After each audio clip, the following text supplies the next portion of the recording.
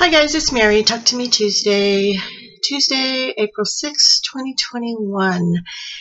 And um you're not even going to believe this. I plan to finish four quilt tops this week. And um I have finished one, two, and we'll finish the third one tonight and then hopefully the fourth one tomorrow. So the first one is um, I'm having trouble photographing this morning. I'm just whining about it. Um, this one's big. It's from the Project Linus, the latest Project Linus one called Stringing Me Along, and it's done with it's string quilting, paper paper piecing. Um, I got, I hung a rod near my long arm on the, at the ceiling with little rings and hooks so that I can photograph quilts. And it's way, way over at Molly's house, and it's three whole blocks away. And I don't want to go over there. And so it's a bright sunny day, and I thought I would just hang this on the fence. And it's too tall, so I was hanging it sideways. And it's my neighbor's fence, and it turns out that the fence is a lot harder redwood than I thought. And I, it's windy, and it every every place I got it connected, it started falling, and there was mud underneath it, and so I called it quits. And my I climbed up on my design wall here and started hanging it in the design wall called Uncle because it's too heavy. And um, so anyway, you can't see the whole thing. And obviously with these new quilt tops and all the other quilt tops I've been finishing lately, I'm going to need to get over to Molly's house, do some quilting, and I will put this up on the wall and get a picture of it. Hopefully this week, but um, not today. So, here's my stringing along.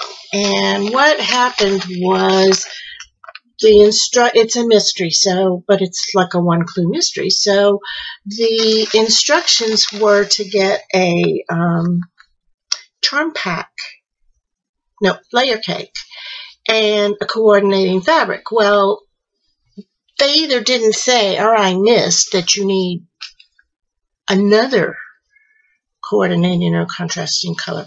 Anyway, I it, I I probably misread it. So I got a layer cake, which is everything but this. All of these great little colors in here. And I thought they went well together. And then I coordinated this um, great fabric here. And um, then the glue came out. And I realized two things. One is this should have been contrasting instead of coordinating. And there was a need for these X's. You see the X's in there? So here's a corner. Um, this is Moda's Color of the Year for 2021. I got five yards of it.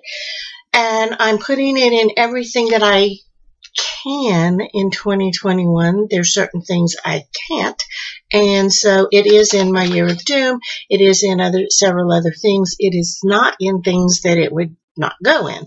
So I'm using it up and um, I, I don't know why I decided to buy five yards of the color of the year for 2021, but I'm using the heck out of it. And so I thought there's blue in here. There really is. I mean, it's, it's, every now and then, but um, here's some blue.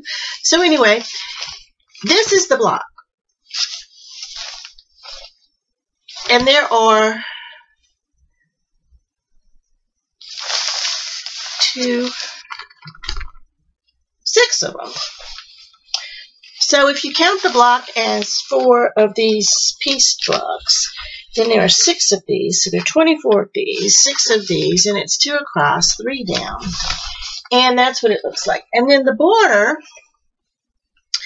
is um, pieced from the same layer cakes and this inner border. So it's got the three borders on it. So anyway, I'm happy with it um, came together real fast, and I didn't even feel it because it was my between project for two things that I was having a lot of fun with, and so I it just all of a sudden, it, every, every time I piece something, I was doing this, and and all of a sudden, I'm like, wow, I I'm running out of blocks here, and then. Um, suddenly the borders were on and it was done. So it was a quite painless operation. It's it's pretty big, as you can see.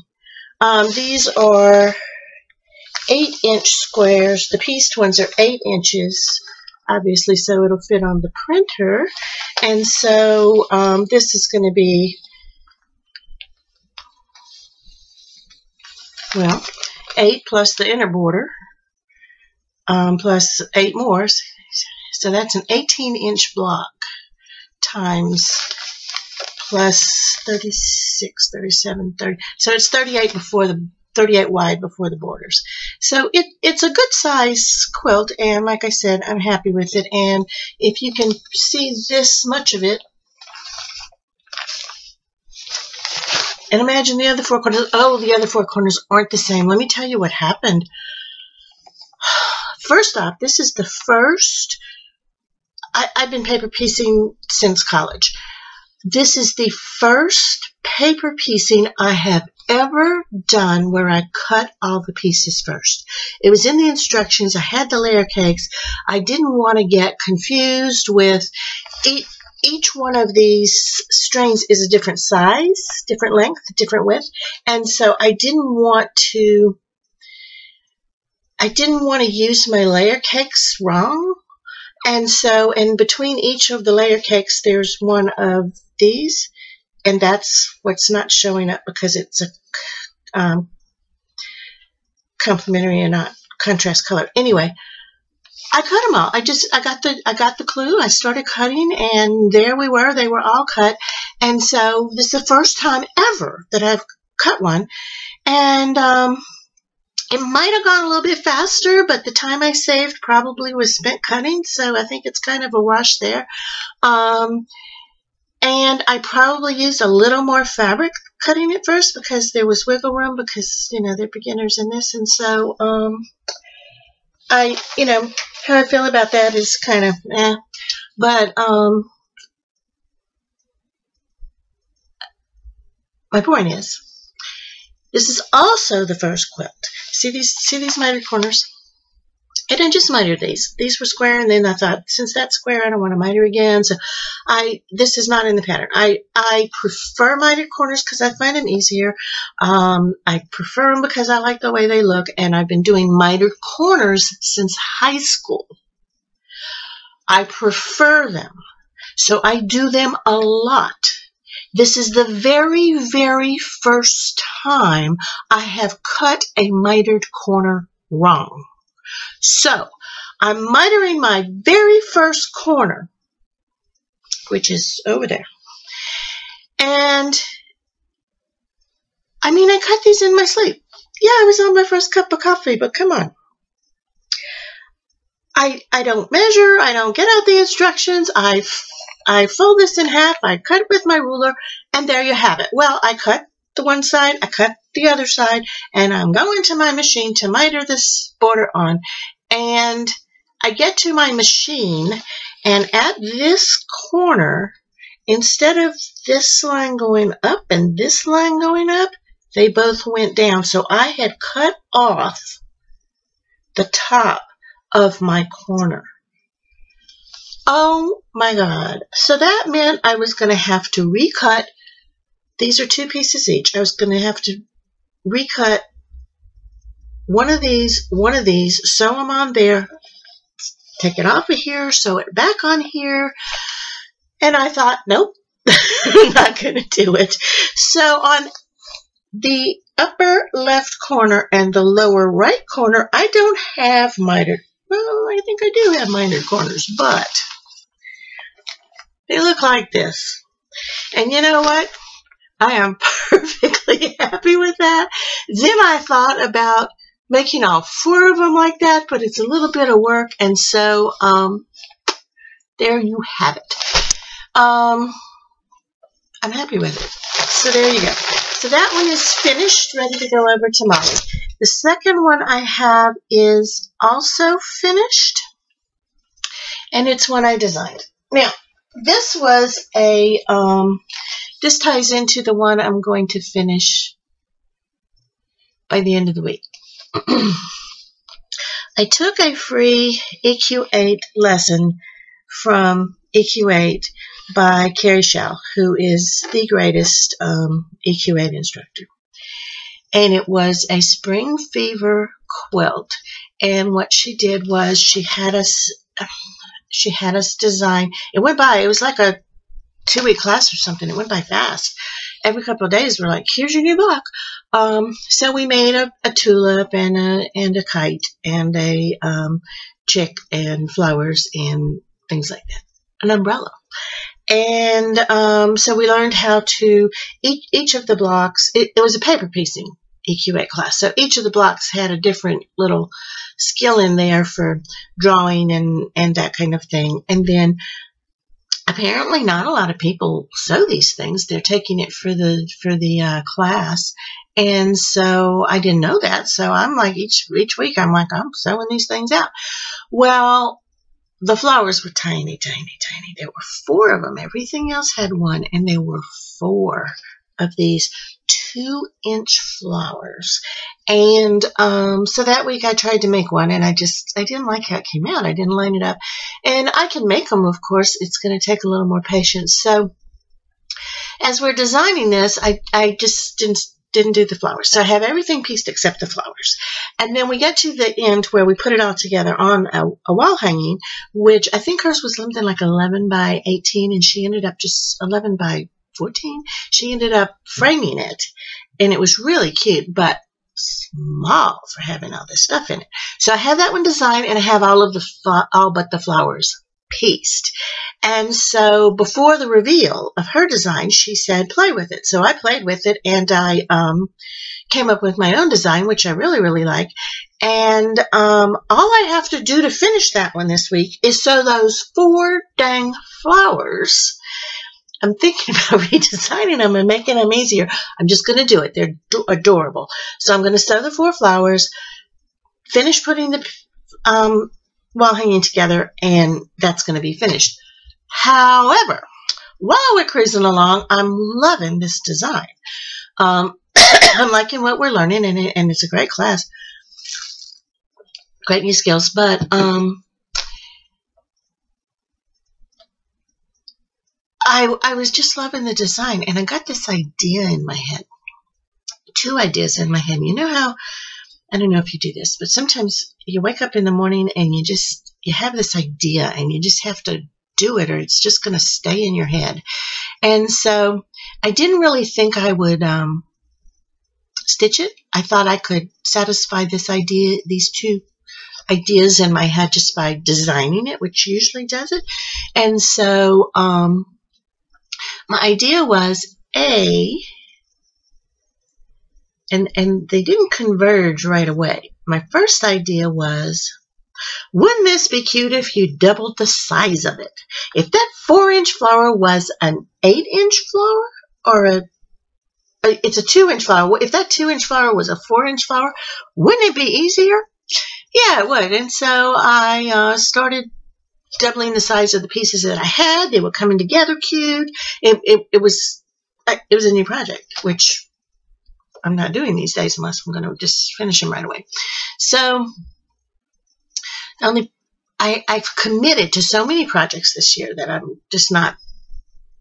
I have so many I already have on my list for the year that I can't really do new ones. So here I am starting a new project, but I wasn't going to quilt it. Well, or piece it. So it came together real cute. And then the other, when the other ideas started coming to the forefront, um, I realized it was the same quilt. The other idea was it was that week where it was real icy here and it was gloomy and it was really cold. And um, it was gray outside. And um, I have a window right here I look out of. And so I thought, maybe if I took all my blacks and grays and made all these springy things out of blacks and grays, and then I um, put a splash of color, probably a solid spring color, in one section of the piecing of each one. Then it would be like, I call it spring with a touch of color. And it would be kind of like the slow spring we had coming on. Now, within two weeks, the azaleas were in full bloom, and then a week later, a wind came through and all the azalea, azalea blossoms are gone. So that was kind of a pathetic, beautiful spring.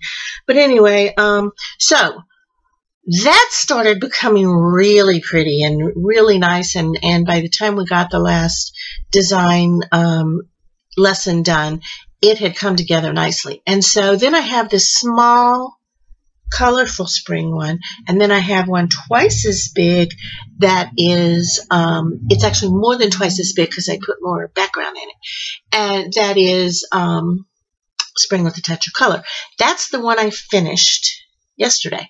So um, I'm really happy with it. Now let me point out that both of these spring ones I decided that the background I'm using for my Year of Doom was perfect for it. It's it's yellow with a sparkly silver running through it that you can't see on camera. And I thought, I've got tons of that. Well, of course, by the time I'm working on Year of Doom, and I'm still working on three or four other things at the same time, by the time I'm working on Year of Doom and two spring quilts with the same backing, it became clear I needed more backing. I had to order some more, and it did come in, and I'm happy about that. So anyway, don't worry about the backing background. I now have plenty. So this is my spring that I did in the blacks and grays. So it is really stringy. This is one of those four crazy flowers that is four inches. Going to be two inches. Can you see that yellow? Yeah, pretty. Um, this this could be two inches in the one you see next week. So we have four of these flowers. Then we have the word spring. This this flower has the purple. This one has the pink, obviously. And I did miss in my design. This should be cut off in a little triangle there. And I did it in both sizes, and I pieced it before I realized it, so it's staying there. So I meant to do that. So then there's an element of the spring, and then there's the kite, the umbrella, three more flowers, the chick, the tulip, and look at those bees. Are they too cute or what? So I did take a picture of this. It was easy to hang on the design wall, and, and, and then I'm going to bind it in black. And I'm going to put a big I have a I have a quilt design in my head, and I'm pretty sure I have it. But I am getting a package of designs from Wasatch tomorrow, and if they have something springy, I might use that on this. Anyway, and if anybody has any suggestions, I want something swirly on this, an edge to edge. If anybody has a suggestion for that, throw it at me because think I would be satisfied with almost anything on that that's swirly. Um, it does have some feathers in some of the borders, but I don't know if I want to put a feather on it. Anyway, if just if some ideas come to you, let me know. So anyway, here's my second finish. And then the third one I'm going to show you, even though it's almost finished, and that's because I won't have it next week. I told you last week that some friends of mine in Minnesota lost their son, and I'm just, I'm just, my heart is just hurting, and I had to. She makes more beautiful cards than I do. So that wasn't going to do. A card was never going to do. So I did what I do. I designed a, designed a wall hanging in his memory, and it's it's something that's in kind of in their style and I um, I did design it. I did piece it. I will put an original quilting design on it, and but I will get that in the get this in the mail before um, before next Tuesday. So anyway, here's the design, and I'm showing you this just because I've I've done the entire center. I haven't done the edge. It finishes at 34 by 34. Now, those who recall geometry will know that when you take this block and do this with it and make this block and this block the same size, these two blocks are not the same size. This is why I love EQ8 and this is why it's totally worth the money because I could have done a formula to figure that out. I could have I could have designed it on graph paper. I would have had to do it at scale because I would want to very, very accurately measure that and to see how it differs from that. But EQ8 just did it. Um, so anyway, here's the pattern. Um, I'm happy with it. That is a, looks like a two inch border. I don't know. Um, but but here's where you can see it with my fabrics. Um,